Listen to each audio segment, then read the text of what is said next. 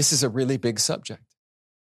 And I'm really excited and glad that we're we're leaning into it. So I'm going to go into into the the the six signs that you may be experiencing imposter syndrome. The first one is you don't think that you deserve success. There's some part of you that believes that you don't deserve it. And I've had clients who who outshined their their brother or their sister and and that followed them for life.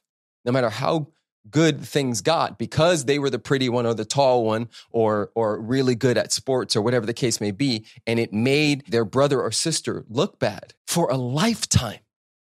These people don't believe that they deserve the success that they're experiencing. So that's number 1 number 2 is you may be experiencing an imposter syndrome if you are a perfectionist or a procrastinator. Now I'll go into perfectionist first. Perfectionists will work on something nonstop and keep working on it so that they aren't exposed.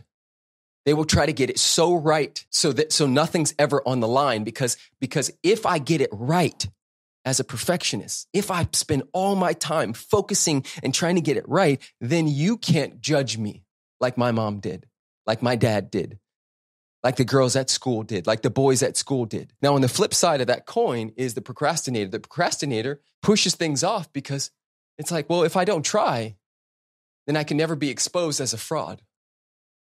If I, if I, if I, if I just barely jump in in the last second, then even if you judge me and expose me, well, I didn't even try that hard. So good. That's number two. Number three is you have a fear of being exposed as, as fake, right? I have this come up often where um, because I was in special education, because uh, there was the, the popular kids and I wasn't like necessarily considered a popular kid, there's this part of me that comes up, especially when I get into an argument with my wife or anything of that nature, that believes that I shouldn't be teaching.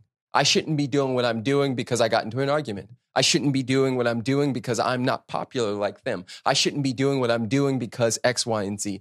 Whatever that is, if you have a fear of being exposed as fake, you probably are experiencing some level of imposter syndrome. Number four is you have a fear of failure. Now there's there's healthy fear and there's toxic fear.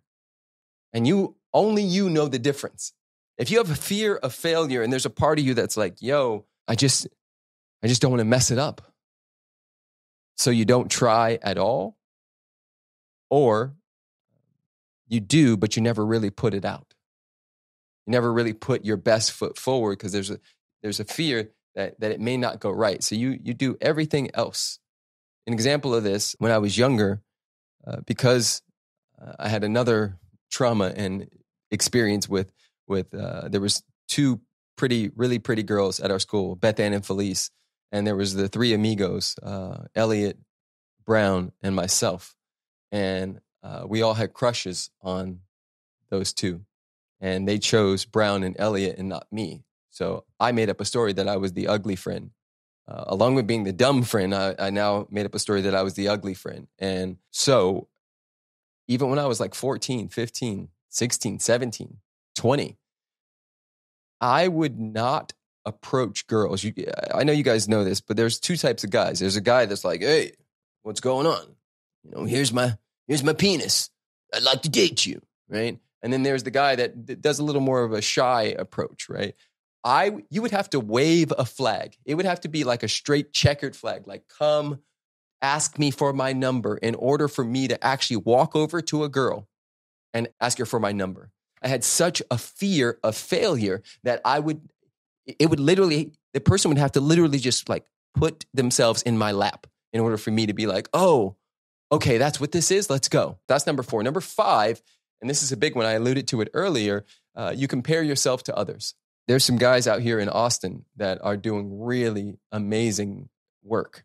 And uh, when I first got here, I noticed that I was demonizing and keeping myself separate from them because I was comparing what they had and what I had, which obviously is unhealthy. And uh, I want to caveat all of this by saying that imposter syndrome or imposter experience may come up for a lifetime. What's more important than you know trying to get rid of it forever is is having a healthy relationship with that inner critic that that has that conversation. And so, uh, if you compare yourself to others, whether it be internally, accomplishments, whatever it is, your body, your looks, more than likely you're experiencing some level of imposter experience. And number six, and this is the last one, and I know this to be true for a lot of people. I coach people all day, every day, and this comes up quite a bit, is you sabotage important relationships.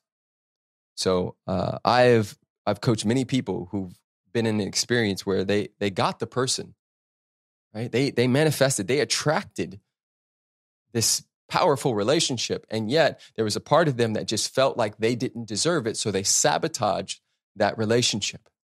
They cheated, they closed their hearts off. They, they always do something to make sure that they are knocked back down to, to the unconscious identity. Remember who you say you are, consciously and unconsciously, you will spend the rest of your life trying to prove which is why it's our job to shine a light on this and, and to make a new declaration about who and what we are unique emanations of the Most High, right? This is who we are pure beauty, pure magic.